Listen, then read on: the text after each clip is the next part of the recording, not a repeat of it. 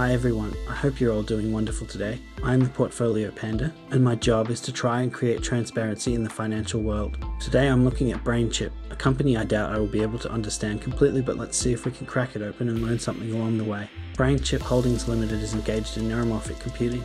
Neuromorphic computing is a branch of artificial intelligence that simulates the functionality of the human neuron.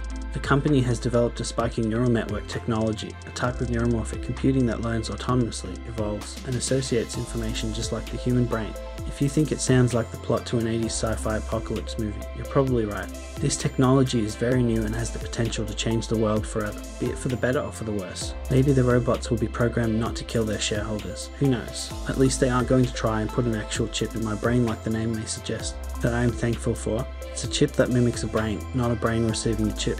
Headquartered in Sydney in Australia, they also have offices in the USA, France and India and their products are served worldwide. But what are the company's products and what do they do? The Akida processor. This is a neuromorphic processor. Akida mimics the human brain to analyze only essential sensor inputs at the point of acquisition.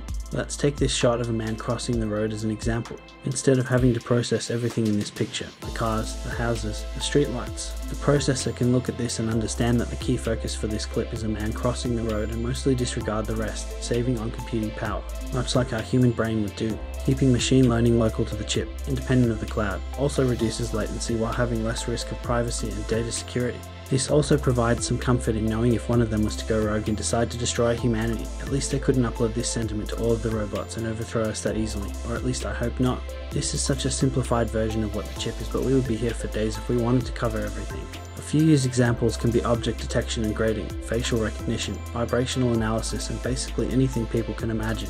I found this video where they use a Akida to taste different wines which I found to be pretty funny. Recently BrainChip has introduced a second generation Akida platform.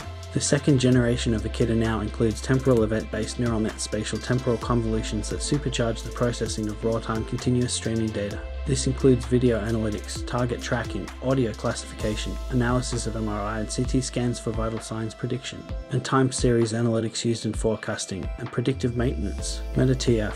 MetaTF is used for the creation, training, and testing of neural networks. MetaTF supports the development of systems for Edge AI. This is the software that makes the Akida run. It uses the Python programming language along with some additional packages. Unless you are a computer programmer this can be confusing how it all comes together. I don't really understand how it all works but it looks like the basic premise is Akida is the hardware and MetaTF is the software. Please correct me in the comments section if this is incorrect. How do they make money? There are four paths of revenue for BrainChip sale of the IP, royalties from the products design, sale of the chips and engineering support. At this time licensing revenue currently seems to make up the bulk of this. Who's in charge? Looking at the people in charge of the company, I don't want to give you a life story of a bunch of people. That's not fun to watch. I look out for people that are heavily involved that look out of place, have irrelevant experience or seem dodgy. I can't see anything that stands out for the team here. I'll put a link in the description if you want to read further into it.